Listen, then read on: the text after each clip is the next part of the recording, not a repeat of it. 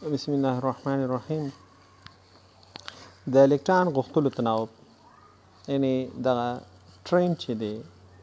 روحجان میلان الکترون غوښتلو دا کم خواته زیاتیږي کم خواته کمیږي یعنی بدلون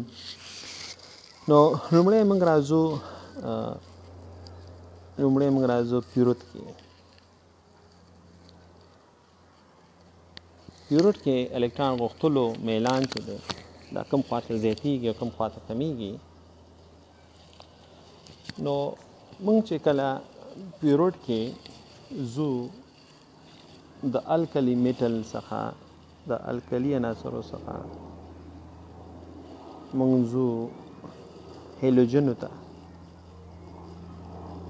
هلو جنس ته د القلی عناصر څخه موږ زو هلجنون خواته د القلی عناصر څخه موږ زو هلجنون خواته نو د اتم اندازه اتم اندازه سایز چې زورته یم لویوالی، کوچنیوالی، د اتوم سایز لویوالی چې دا کمیږي. چپ نه چې ښي خوا ته موږ ځو د اتوم اندازه د اتوم شوا دا کوچنی کیږي او هستوي چارج چې دی هستوي چارج زیاتی هستوي چارج چې کیږي زیاتی او همدغه دواړه فکتورونه یعنی د اتوم اندازه کمیدل د اتوم شوا کمیدل او هستوي چار زیاتیدل دا د اخیری مدار او الکترون ترمنځ اخیری مدار او بخیا او د هستی ترمنځ جذب قوت شي دا زیاتوي نو اتوم ډیر میلان لري، ډیر غوښتل لري، ډیر خواهش لري چې الکترون چې کې ځان ته راکش کړي. نو دې عمله چې موږ ځو چپ نه ښي خواته د الکترون غوښتلو انرژي د الکترون غوښتلو انرژي دا زیاتیږي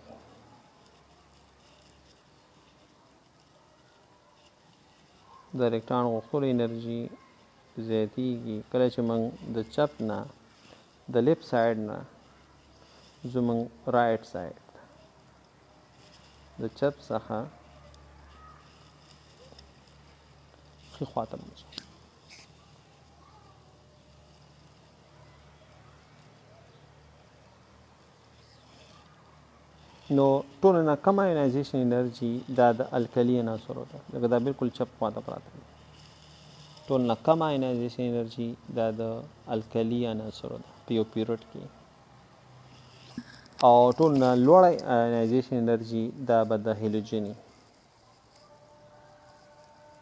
ټول نکمه په یو پیریډ کې ټول نکمه انرژي انرژي دا به موږ سره د الکالي عنصر او ټول نه لوړه به موږ سره د هیلوجن مثال په توګه لیتیم ما سره دویم پیریډ کې دی او په دویم پیریډ کې هیلوجنونو کې ما سره فلورین دی نو ټول نه زیاته انرژي انرژي ما سره د فلورین ده او ټول نه کم اينايزيشن انرژي دا به موږ سره د لیتیمي همدارنګه سوډیم ټول نه کم اينايزيشن انرژي په دریم پیریډ کې ما سره د سوډیم ده او ټول نه زیات اينايزيشن انرژي په دریم پیریډ کې دا به ما سره د کلورینی نو چپ نه چې موږ خو ته زو په پیریډ کې اينايزيشن انرژي ما سره څه کیږي دا زیاتیږي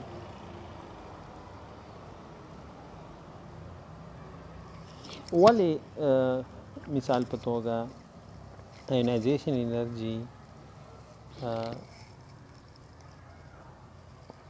موږ سره د هیلوجنونو دا دا موږ سره زیاته ده د علت دا دی چې دوی الکترون ویش چې دی ان اس 2 ان پی 15 دی نو دته کدا یو الکترون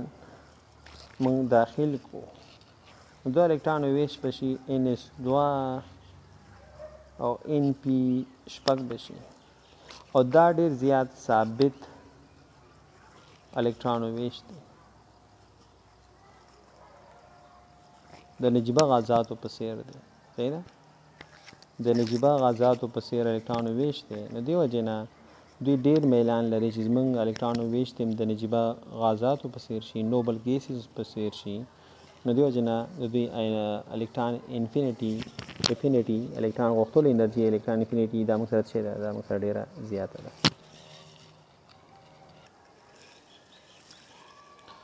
نو که موږ راشو ګروپ ته او بخې یو شی چې دی هغه د دویم ګروپ عناصر موږ خبره وکړه که نه دویم ګروپ عناصر چونکې دوی الکترون ویش مکمل دی دی نه الکترون ویش د دې څه دی ان اس 2 دی د دې نو دې انایزیشن انرژي به موږ سات شي دا موږ سره ډیره کم وي او به انرژي الکترون انفینټی چې دا دې موږ سات شي دا موږ سره کم وي ځکه چې د الکترون ویش چې دی مکمل دی نو ټول نه په پیریډ کې ټول نه کم انرژي انرژي جنرالي دا به د دویم ګروپ نه شي خو عام جنرال پیټرن کې موږ داسې چې جون کې چپ خواته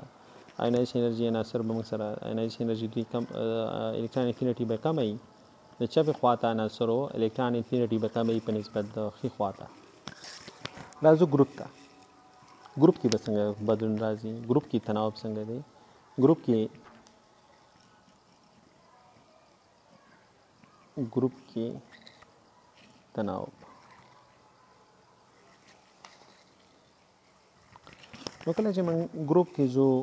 د پورته خوا نه ښکتې خوا ته پورته نه ځو پورته څخه ځو موږ ښکته یعنې پاس نه راځو موږ لاندې هماغه خبره چې سایزم سایزم غټیږي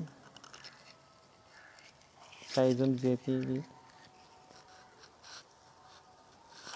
او هستوي چارج چې د دام زیاتیږي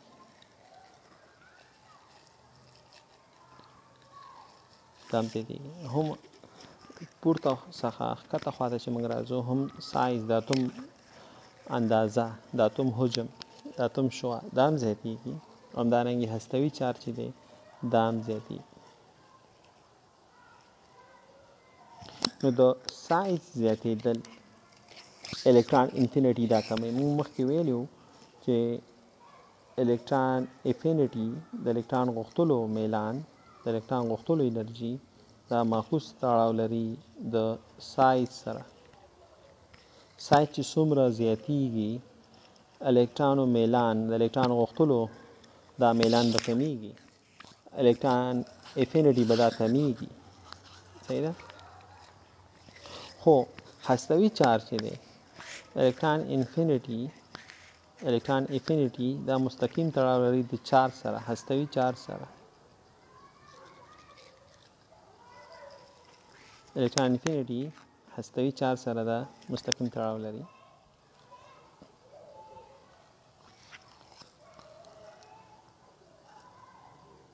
نو یو خواته سایز زیاتیږي الکترون افینټي کمای او بل طرف ته هستوي چارج زیاتیږي الکترون انفینټي زیاتي خو په دې صورت کې سایز چې دی دا مهم فاکتور دی په نسبت د هستوي چارج د هستوي چارج په مقابل کې پروټون شمیر په مقابل کې دا سایز چې دی دا موږ سره غالب دی نو سایز زیاتېدو سره اورال په ګروپ کې الکترون انفینیټي الکترون افینیټي د الکترون غوښتلو میلان دا کمیږي چې لاندې موږ راځو سایز زیاتیږي سایز زیاتیږي نو الیکټران انفینټی به داسې کیږي دا به موږ سره کمیږي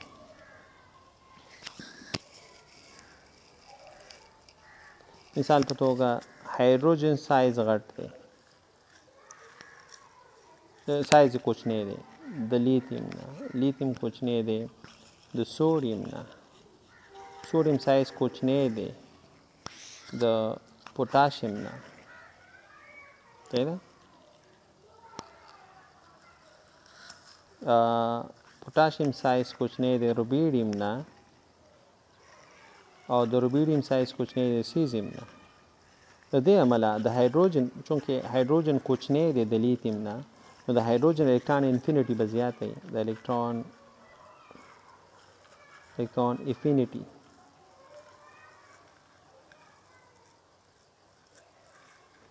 الکترون انفینیټي الکترون انفینیټي د هایدروجن به زیاتې د لیتیم نه لیتیم به زیاتې د سوډیم نه یعنی مونږ مثلا لاندې راځو هایدروجن لیتیم سوډیم دلته سوډیم دی او بخی سوډیم پوتاشیم روبیډیم او سیزیم نو لاندې چې موږ سره راځو الکترون انفینیټي به کمیږي نو الکترون انفینیټي به هایدروجن زیاتې د لیتیم نه لیتیم به زیاتې د سوډیم نه سوډیم به زیاتې د پوتاشیم نه پوتاشیم به زیاتې د سیزیم نه روبیډیم نه روبیډیم به زیاتې د سیزیم نه همدارنګه سلفر سیلینیم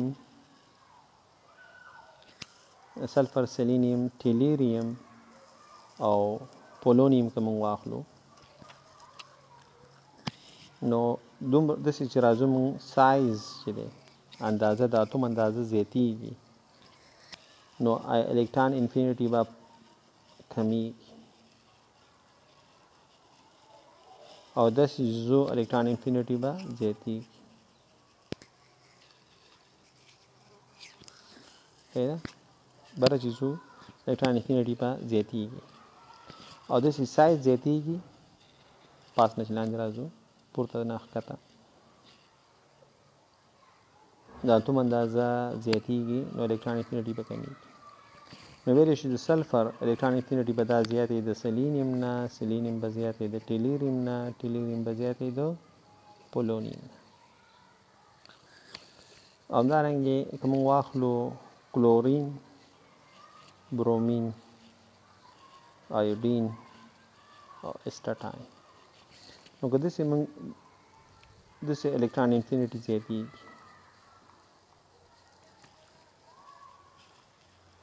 ښکته څخه پورته خوا ته چې موږ زیاتو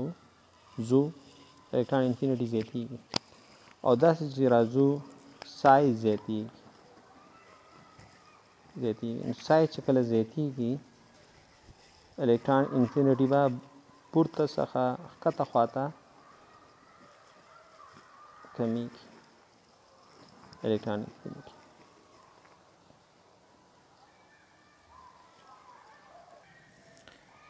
نو که پی کنه می منګه په دې ګروپ کې اکسیجن ونه لیکو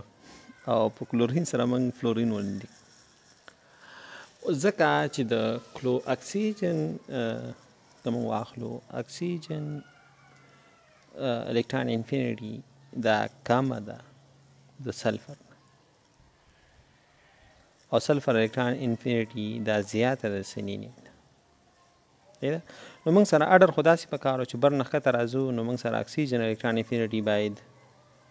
چې ده الکترون انفینیټي د اکسیجن باید کمي د سلفر نه سلفر کمي د سیلینیم نه سیلینیم کمي د ټیلیریم نه او او هغه بیا کمی د پولونیم نه باید موږ سره داسې وي خو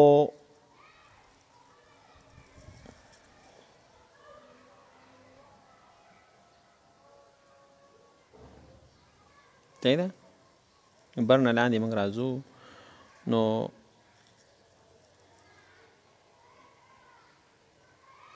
خدای وبخښي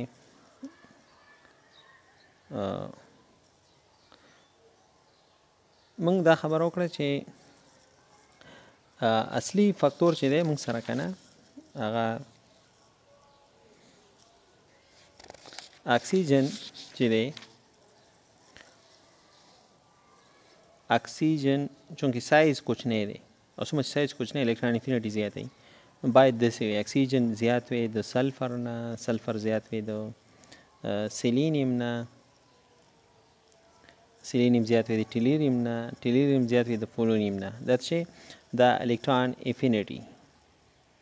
الکتران افینیټي د اکسیجن سلفر سیلین ټیلیریم پولونیم د اکسیجن بیا ټول نه زیاته وي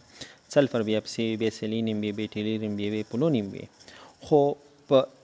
اصلي دغه کې موږ سره داسې دی او همدارنګه که موږ فلورین واخلو نو فلورین باید موږ سره زیاته وي د کلورین نه کلورین زیاته وي مثلا د برومین نه برومین زیاته وي د ایډین نه ایډین زیاته وي د اسټاټاین نه صحیح ده خو حقیقت کې داسې نه دی صحیح ده موږ سره داسې دی چې سلفر یا داسې اکسیجن چې دی اکسیجن دا موږ سره د هغه الکترون انفینټي کمه ده د سلفر نه او د سلفر زیاته ده د سیلینیم نه صحیح ده سلفر زیاته ده سیلینیم نه او سیلینیم بیا زیاته ده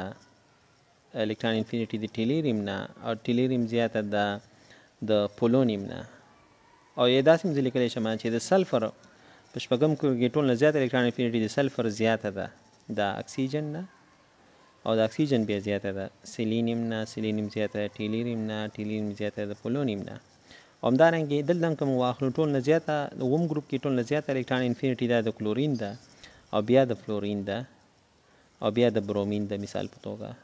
صحیح ده او بیا د آیوډین ده او بیا چې دی موږ سره د اسټاټاین ده صحیح ده یا موږ دا داسې هم لیکلی شو چې فلورین چې د الکترون انفینټي کمه ده د کلورین نه خو د کلورین الکترون انفینټي زیاته ده د برومین نه صحیح ده د فلورین الکترون انفینټي د کلورین نه خو کمه ده خو کلورین د هم د فلورین نه زیاته ده او هم د برومین نه زیاته ده او بیا برومین زیاته دی د ایوډین نه ایوډین زیاته ده د د ایسټاین نو دا ولی ولی چې کوم موږ سره ولی اکسیجن چې د الکترون انفینیټی کم ده د سلفر نه حالانکه سایز کوچنی دی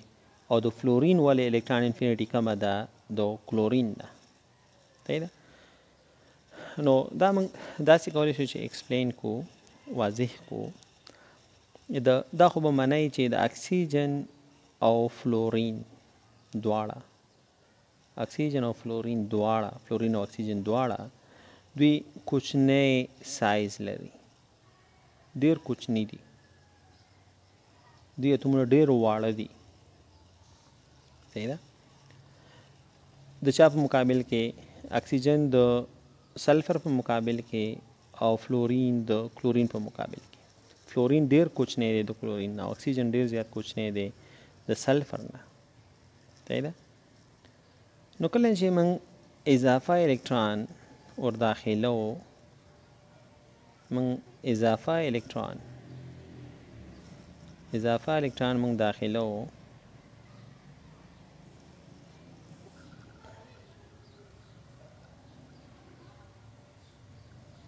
اضافه الکترون موږ داخله وو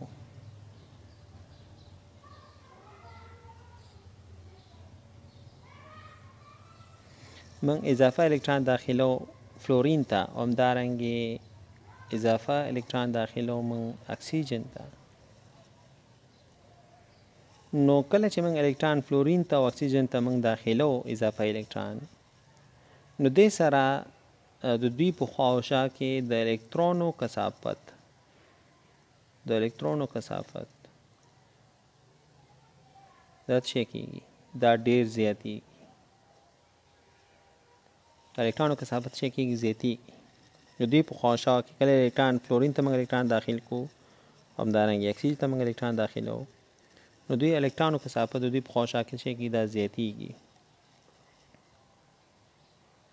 او دغه الکترانو کثافت زیاتیدل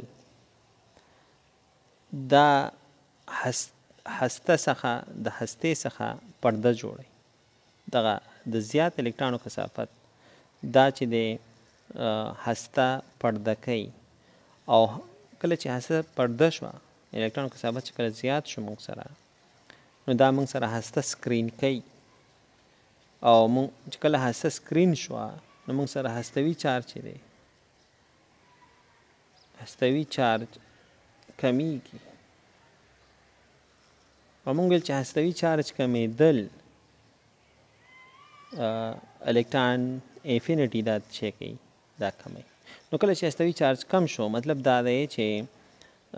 الکترون چې مخینه په ما سره په ډیر کوچنی ځکیو صحیح ده په 2p اربیټال کې چې کله ما سره الکترون او ډیر کوچنی اربیټال کې ما سره خپل د اکسیجن او د فلورین دغه جسامت د اتوم دغه حجم دا ډیر زیات کوچنی دی او مخکې نه په یو کې مثلا څلور الکترون دی او بل په پی کې ما سره 15 الکترون دی نو دوی مخکې نه ډېر نږدې او تنګ دا الکتران صحیح ده ډېر په کوچني اربیټال کې ډېر وړوکي اتوم کې دغه پنځه واړه یا څلور واړه الکتران موږ سره په موږ سره په اخیری مدار کې وو په پی اربیټال کې وو او کله چې موږ دا مخکې نه دوی ترمنځ ریپلشن نو کله چې موږ یو الکترون بل هم ورته داخل کو دوی ترمنځ دغه ریپلشن د الکترون الکترون ترمنځ دغه دفع قوه دا موږ سره نورم زیاته شوه نو پي الکتران کې ما سره په فلورین د پاره پنځه او د اکسیجن د پاره څلور نو مخکې نه ډیر کم کوچنی ځای کې دا څلور الکتران د اکسیجن د پاره او فلورین کې پنځه الکتران دا ډیر کوچنی ځای کې موږ سره او نو مخکې نه دوی ترمنځ شی او موږ سره ریپلشن د الکتران ترمنځ کله چې موږ بل الکتران هم داخل کو نو دوی ترمنځ دغه دفع قوه دا موږ سره نورم زیاته شوه دالې دفع قوه موږ سره کده ته موږ بل الکتران هم داخل کو نو مخکې نه چې کوم الکترون چې ډېر کوچني څه کوو چې هغه خپله تنګ وو یو الکترون موږ بل هم ورداخل کړو دوی ترمنځ دفې قوه د الکترون الکترون ترمنځ دفې قوه چې ده دا موږ سره څه شو د الکترون الکترون ترمنځ دفې قوه نورم زیاته شوه او دلته په د الکترون الکترون ترمنځ چې ده الکترون الکترون ترمنځ دفې قوه په اکسیجن کې ما سره نورم زیاته شوه نو دغه دفې قوې له امله ا دوی لږ میلان لري صحیح ده اکسیجن کې چې کوم دفع قوه د الکترون د داخلي د وجنه پیدا کیږي هم دا رنګي فلورین د وجنه کوم دفع قوه موږ سره د الکترون د داخلي د وجنه پیدا کیږي نو دغه دفع قوې لامل دوی ډیر کم میلان لري چې الکترون ځان ته رانږدې کړي الکترون ځان ته راکش کړي صحیح ده دوی دغه سایز چې دی دا موږ سره زیات شو نو د سایز زیاتېدو سره صحیح ده د هستوي چارج کمېدو سره او د سایز زیاتېدو سره موږ سره